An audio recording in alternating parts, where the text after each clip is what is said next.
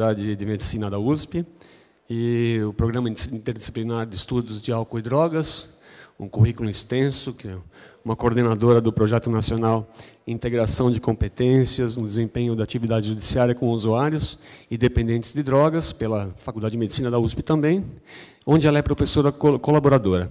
Uma salva de palmas, por favor. Bom dia a todos e todas. Um prazer muito grande estar aqui com vocês. Toffoli, obrigada pelo convite. Tassi, Maurides, todos os, os membros do LEIPSI.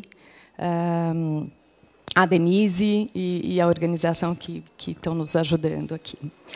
Bom, uh, é um prazer muito grande estar com vocês, até para poder haver essa troca uh, da, de várias ciências e, e, a gente poder discutir depois um pouco sobre outro, outros tipos de repercussão então que o uso pode trazer.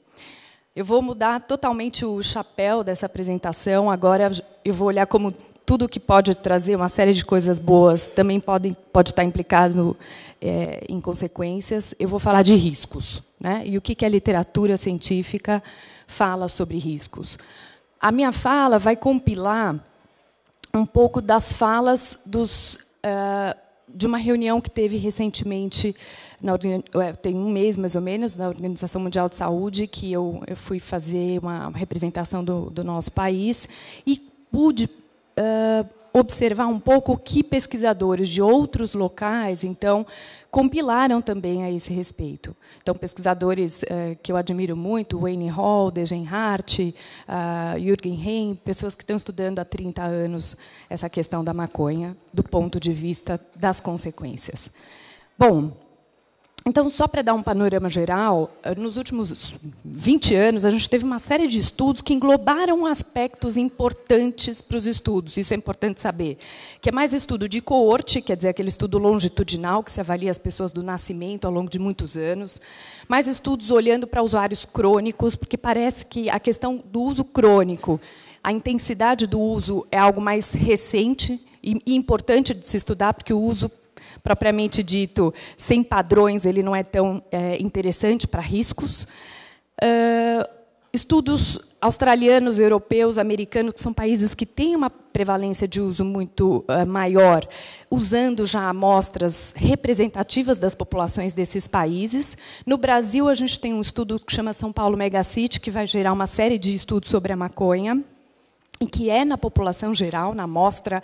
Então, eu sou epidemiologista, além de clínica, e estudo amostras que não são amostras clínicas, estudo amostras da população geral e a repercussão do uso na população em geral, ou seja, na população não doente. Uh, e aí houve, então, um aumento de estudos com usuários regulares, com menos efeitos confundidores, ou seja, só com usuários de maconha e não com outras substâncias psicoativas, e isso nos traz algumas referências.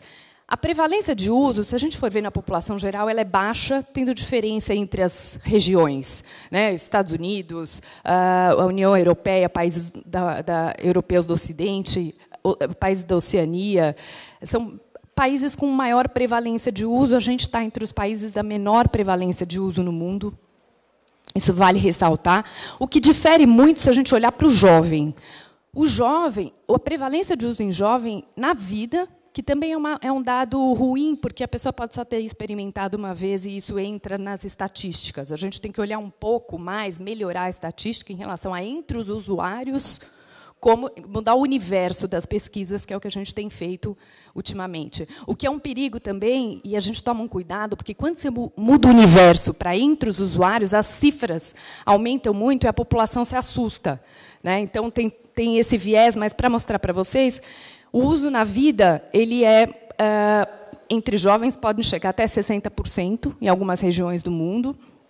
Uh, e no Brasil, a maconha, como Qualquer outro país tem uh, é a substância mais utilizada depois do álcool e do tabaco, com uma prevalência baixa, comparada na América Latina à Colômbia, por exemplo, mas bem inferior aos Estados Unidos, Espanha, França.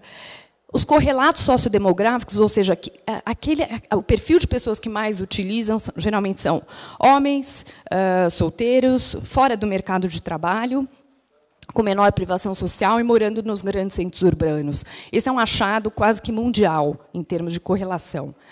Uh, mas, ao contrário do que vem se dizendo, eu, a gente começou uma revisão na literatura científica, as pessoas ficam falando tem aumentado o consumo em jovens, tem aumentado. Nós não encontramos isso.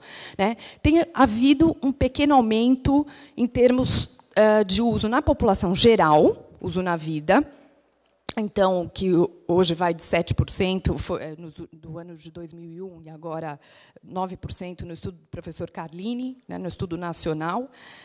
Uh, em, no último ano, que é o que a gente olha, então, mais para quem utilizou recentemente, é uma cifra que fica em torno de 2,5%. Aumentou um pouco, mas isso não parece ser significativo. Agora, uma diminuição entre estudantes universitários por exemplo, na USP, um levantamento grande, né, bastante representativo da USP, mostrou uma diminuição no período de 13 anos e também uma diminuição no ensino médio, que é sutil, mas que é relevante para a gente em estudos de tendência, observar o que vai acontecer com essas cifras, seja legalizando ou não, para nos ajudar a entender melhor o fenômeno. em termos de cenário atual, então, o uso é baixo, mas, apesar do uso ser baixo, a política ela é inadequada, porque ela é uma política que é universal para o uso. Né? Ela fala que ninguém pode usar.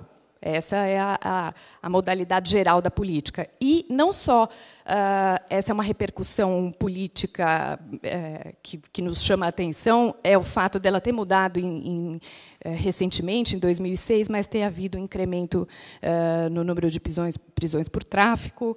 Um terço do porte do, daqueles que foram apreendidos era de maconha, mas em quantidades, na sua quase maioria, com menos de 100 gramas.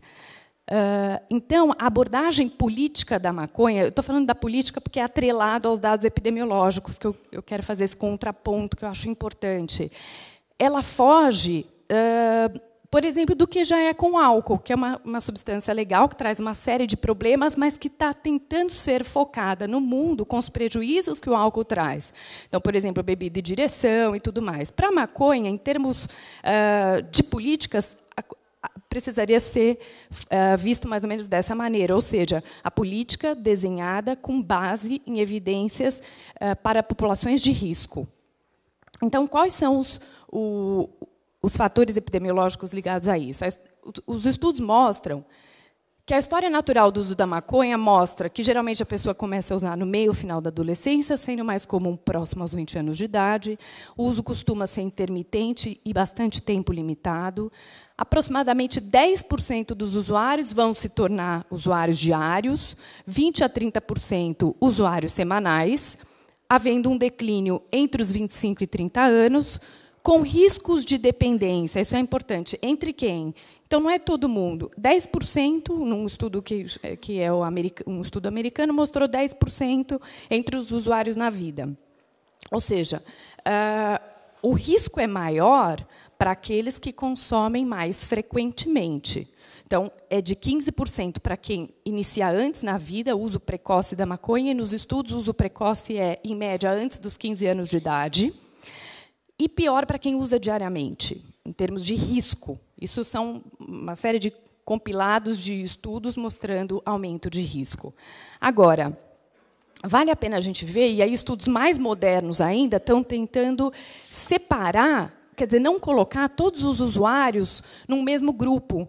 Então, estudos que são, têm uma sofisticação uh, em termos de análises e usando amostras grandiosas. Né? Então, esse estudo do Fischer aí mostrou, eles pegaram uma amostra de 13 mil indivíduos, eles separaram esses indivíduos, usuários de maconha somente, uh, em, em, quatro grupos. Eles conseguem, uh, além de a gente perceber que tem os usuários, tem usuários que são agrupados por comportamentos ou características distintas.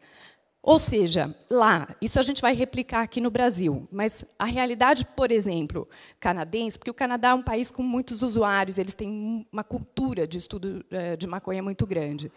Então, eles veem que, assim, eu só vou falar da classe 4, ou seja, entre todos os usuários, eles encontraram uma classe problemática, que é uma classe que gira em torno de 22% dos usuários, que são aqueles que começaram, que começavam a usar antes dos 15 anos de idade, ou seja, é o que os estudos têm entendido como idade precoce para o uso. uh, faziam um uso diário, ou quase diário, alegavam para o seu uso um uso uh, social ou clínico, que a gente, até uma discussão desse paper é, será que o uso era clínico mesmo ou era uma, uma justificativa para o uso? E um aumento maior do que nos anos anteriores, sendo que esses estavam desenvolvendo problemas, problemas para uso de outras substâncias, problemas é, de saúde, maconha em direção e a própria dependência. Então, é, isso é interessante porque os estudos já mostrando que, além de ter uma gama enorme é, de usuários sem problema, você, talvez entre os sem problema também tenham agrupamentos para, em termos de idade de início, uh, padrões de consumo que são interessantes no futuro para a gente ver para onde é que esses grupos uh, caminham em termos de manifestações de, de, de, de problemas ou não, né? ou ganhos até relacionados ao uso que é o que os estudos vêm ponderando, já que nenhum desses outros grupos tinham problemas associados. Bom, as principais evidências para prejuízos incluem né, prejuízo associado ao uso crônico, como eu falei, uso diário ou quase diário, prejuízo cognitivo, já bem, isso que eu vou falar são os mais bem constatados, né? Prejuízo atencional, de memória, funcionamento executivo, tomada de decisão, isso tudo muito maior e aumentado para quem inicia antes dos 15 anos ou 15, 16 anos, os estudos mostrando. Até depois dessa idade, às vezes os estudos não mostraram tantas repercussões dessa natureza. Para a dependência, acidentes fatais e não fatais, isso tem sido estudado, vou mostrar adiante. Prejuízos respiratórios, devido à maneira que a, que a maconha é fumada, maconha e psicose, que vou falar adiante, e outras consequências que têm evidências mais precárias, como o uso de outras drogas ilegais entre os usuários de maconha, que seria a transição para o uso. Isso no passado falava-se muito. A porta de entrada e tal, o, o seu Joaquim, que é o motorista que está ajudando a gente, ele falou assim: agora que está só você e que você é médica, posso perguntar uma coisa? Eu falei: pode. Poxa, eu estou entendendo que vocês estão achando que maconha não traz problema, né? Aí eu falei, ele falou, eu acho que eu estou entendendo isso. Mas é, é isso mesmo, assim, é, porque o meu sobrinho, e aí todo mundo conta, começou na maconha, mas hoje ele está internado por crack. Então eu acho que maconha é um problema. E tal, eu falei, não, mas isso é absolutamente incomum né, na questão do uso da maconha. É, as pessoas ficaram na cabeça. No passado, se falava muito da maconha porta de entrada. Isso os estudos revelaram na década de 80. Então, eles faziam estudos de progressão, que era entre os usuários, entre quem não usa nada e tem amigos, a chance de uso é maior, entre quem usa, a chance de virar dependente é maior, entre quem usa maconha, a chance de usar cocaína é maior, e assim foi. Hoje em dia, isso tem caído por terra, porque as teorias e os modelos são muito mais complexos. Eu não vou entrar nisso, mas isso é uma questão eu achei interessante porque é o que para ele foi um dado em relação à questão da maconha. E uh, e aí outras, então estou falando dessas outras evidências e outras repercussões em saúde mental, como ansiedade, depressão, TAB, que é transtorno afetivo bipolar, que eu vou falar um pouquinho o que, que tem se falado. Agora, apesar de tudo isso, já a literatura Uh, coloca nas suas limitações que é, a despeito de ter problemas, é infinitamente menor do que o álcool e o tabaco, por exemplo, os prejuízos trazidos em termos de saúde pública. Né? Álcool e tabaco têm prejuízos em termos de saúde pública que são uh, bem maiores do que todas as drogas somadas. Então, isso é uma questão é, importante. Em termos de dependência, é, as prevalências também não são muito elevadas. Um estudo americano mostra 4% de dependência na vida. Um estudo australiano, que vê um período dos últimos 12 meses antes dos indivíduos serem avaliados, aproximadamente 2%. E numa amostra nossa de São Paulo, nos últimos 12 meses, é em, torno de 0,5% de dependência, que são taxas bem é, pequenas ainda na nossa população. Tem havido, e os estudos aumentaram muito nesse sentido, um aumento importante na procura de tratamento em alguns países. E esses países seguem aquela curva que eu mostrei no começo dos jovens, os países que mais têm jovens utilizando a maconha são os países que estão revelando maior procura por tratamento. A gente não sabe se é só uma diminuição do estigma nesses lugares. Então, quem precisa de ajuda, quer diminuir, quer parar, tem procurado auxílio nesse sentido, e esses países estão mais preparados para esse tipo de acolhimento também do que muitas vezes no nosso, que os médicos muitas vezes já têm como uh, conduta dizer, uh, olha, você não pode usar, uma conduta mais que não é que não é uh, amigável para o indivíduo expor suas questões. E uh, tem havido estudos brasileiros, especialmente tem, a gente tem tido estudos de brasileiros muito bons em algumas áreas, né, com o canabidiol. Então, é, estudos feitos por, por, por, brasileiros. Hoje de manhã na mesa a gente viu para uso medicinal algo inicial, mas que é, é, é uma tendência no nosso país. E uh, também estudos epidemiológicos de grandes centros têm dado alguns dados relevantes. Então, a gente não pode também uh, descartar essa, os estudos nacionais, apesar de eu ter feito um, um compilado do mundo.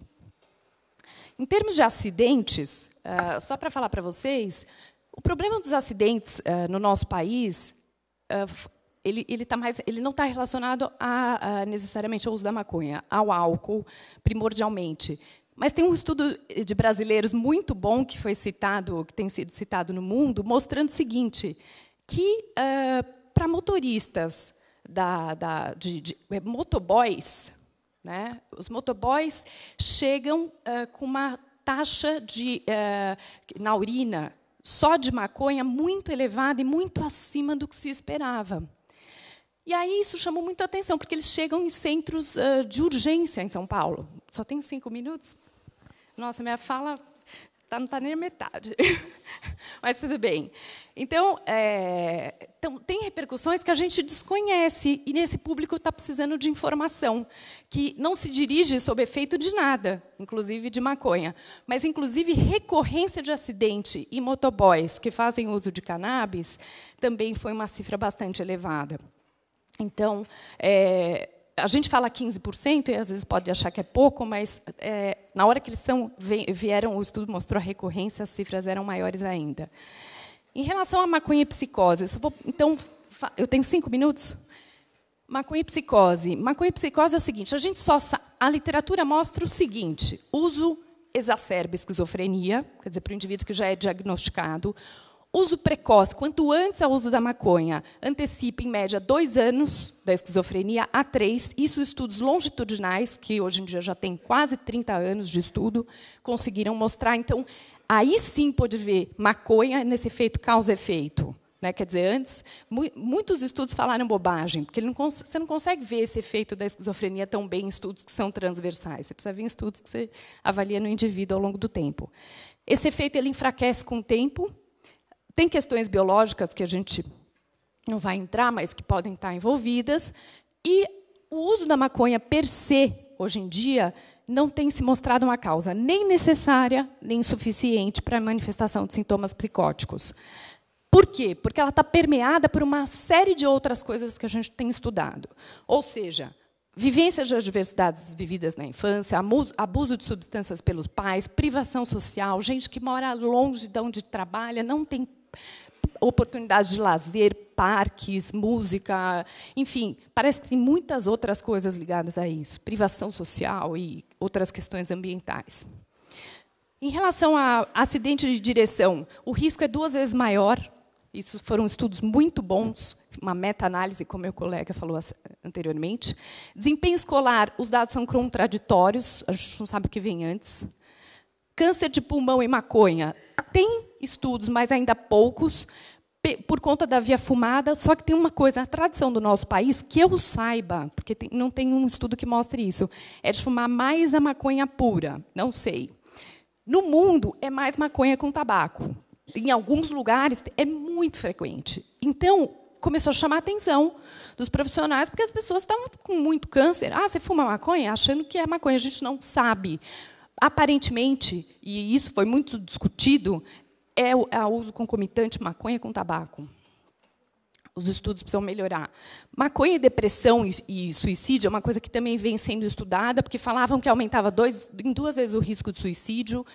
Uh, isso aí uh, parece que indivíduos que já têm um transtorno depressivo maior, aí sim, sob uso de substâncias e outras questões envolvidas, e tem uh, vários fatores que isso precisa ser melhor estudado. Uh, maconhas e outros transtornos mentais, como uh, bipolaridade e ansiedade, a causa e efeito ainda não estão claros, e os artigos estão referindo isso, porque a maioria é por estudos transversais, não há estudo longitudinal controlando para a idade de início, uh, frequência, quantidade, e a automedicação ainda é uma hipótese bastante plausível, então seriam ansiosos, talvez, fazendo uso, e indivíduos com transtorno afetivo bipolar, quando estão na exacerbação do humor, fazem uso da maconha para baixar um pouco. Então, talvez essa hipótese seja a mais uh, plausível. Embrião e feto, isso é importante, são estudos nacionais também que foram citados fora, porque isso as pessoas quase não fazem. É, o que é uma coisa foi delicado, porque assim, meninas jovens, no terceiro semestre de gravidez, uh, que diziam, não fumei, não fumo nada, tal, quando faziam a amostra de urina para coleta de várias coisas, sempre aparecia em torno de 4%. Parece que é isso mesmo. Em jovens, 4%, porque quando você vai ver no feto, que tem vida de 24 a 72 horas, vai coletar na urina do feto também era para outros estudos foi coincidente. Então essa é mais ou menos uma uma taxa. Esse estudo só tem para jovens, a gente não sabe para mulheres adultas. E está até é, o despertador aqui apitando. E é isso. Aí eu, eu só vou. Deixa eu ver falar que a taxa de THC no mundo está aumentando, os estudos estão caminhando para esse lado para ver se um efeito maior do THC poderia estar tá levando a, a, maiores consequências, e aí essas são as consequências discutidas, uma série delas. Então, quer dizer, vai dar mais problema, tudo isso que eu estou falando anteriormente vai trazer mais complicações? Ou será que o contrário, o indivíduo que vai titular o THC vai ter uh, menos problemas? Enfim, Uh, e as políticas públicas, vou encerrar. É, decorrente do uso da maconha, então, uh, os problemas são limitados se comparados então de outras substâncias. Os dados sugerem que problemas de saúde uh, somente se manifestam uma parcela relativa de usuários. Há diferentes padrões entre usuários que a gente precisa considerar. Um em cada cinco me parece que vai ser o usuário problema. Uh, e as análises precisam tomar, levar em consideração frequência, uso, quantos, quantos baseados o indivíduo usa no dia, quais, qual meio que ele vive, condição dos pais, uma série de outras coisas. Então, uh, políticas baseadas em evidência é algo que a gente uh, precisa ir atrás. Esse tipo de, de manifestação que estava na Folha de São Paulo ontem, né, quer dizer, que é a contramão, ou seja, nem um pouco baseada em nada do que, que é, é discutido, é, não, obviamente não vai trazer coisa boa. Eu acho que o modelo que a gente teve aqui e, e a repercussão disso no seu Joaquim me levando para o hotel é o que pode trazer alguma mudança. Obrigada.